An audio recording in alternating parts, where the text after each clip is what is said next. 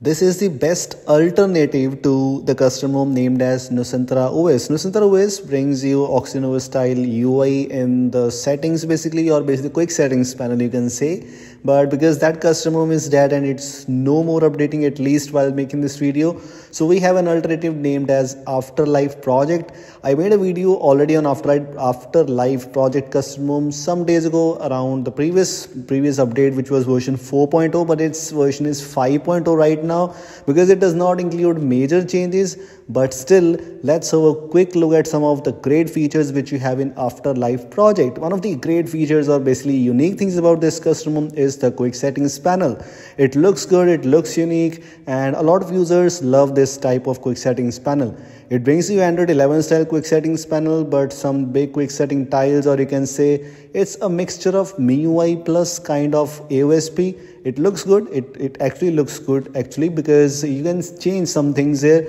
In some of the custom ROMs, like in most of the custom ROMs actually, you have Android 11 style quick settings panel or you can switch between the normal default one. But in this case, it's little bit modified. The settings UI also have the card style UI which I think so uh, you can change that very easily by moving into some customization section because in the terms of customizations and theming there are many options which you can see we have many options to explore it also brings you new UI almost everywhere. For example if you enter any sub menu accessibility. You can see we have some header images kind of things available in safety in security in privacy everywhere where whenever you open any submenu you will find some things here some new ui things like in display section.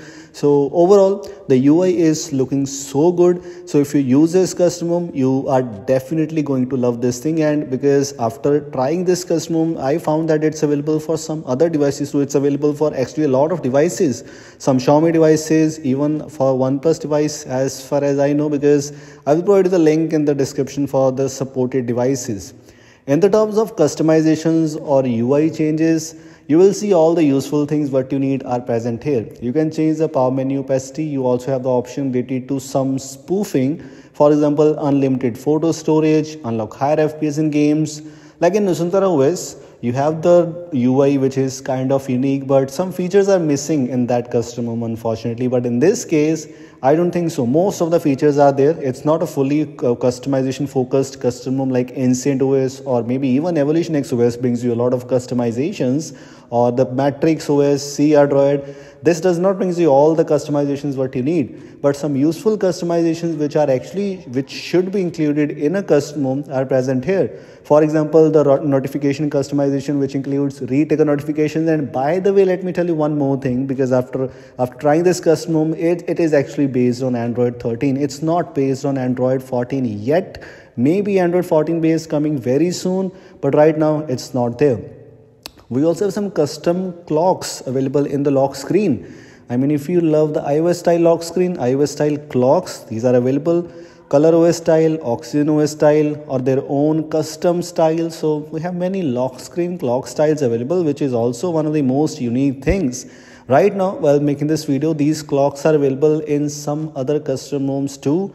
As far as I know, these clocks are available in Superior OS extended version and superior extended version review is also coming very soon the new update. So stay tuned and make sure to watch this video till the end. Also make sure to subscribe the channel because i make videos on almost every custom ROM so we have an overview the changes the features what are included what are missing everything what you need.